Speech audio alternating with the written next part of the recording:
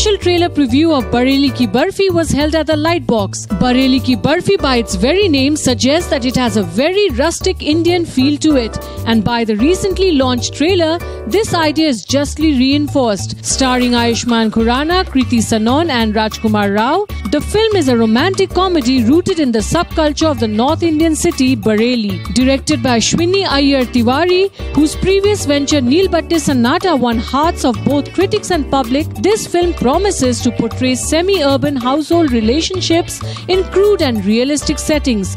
Bareilly Ki Barfi has been written by Ashwini's husband and Dangal director Nitesh Tiwari along with Shreyas Jain. The film seems to have a French connection as told by Ashwini. मैं नीलपट्टी finish कर रही थी और last day shoot था और हम वापस आ रहे थे दिल्ली एयरपोर्ट से। आगरा से दिल्ली दिल्ली आ दिल्ली से बॉम्बे आ रहे थे। तो आ, क्या होता है जब आप कंटिन्यूसली दो महीने के लिए शूट कर रहे हो और उसके बाद दिमाग चलता नहीं है बट फिर भी as creative people I think any one of us जाके बुक स्टोर में देख लेते कुछ मिल रहा है कुछ है क्या? तो मैंने ऐसी दो तीन बुक्स उठाए और उसमें से ये एक बुक था। It was called ingredients of love French book है, पता नहीं कहाँ से आ गया इंटरनेशनल एयरपोर्ट पे। निकाला मैंने और मैं तीन बुक्स में से नींद नहीं आ रही थी। फ़्लाइट में तो पढ़ना चालू किया मैंने।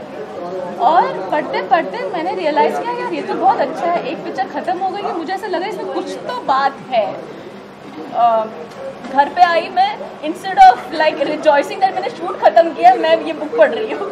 और अगले दिन हम हॉलीडे में जा रहे थे तो नितेश ने मुझे पूछा कि तुम ऐसे ही क्या पढ़ रही हो जो इतना मतलब तुमने सब छोड़ दिया है?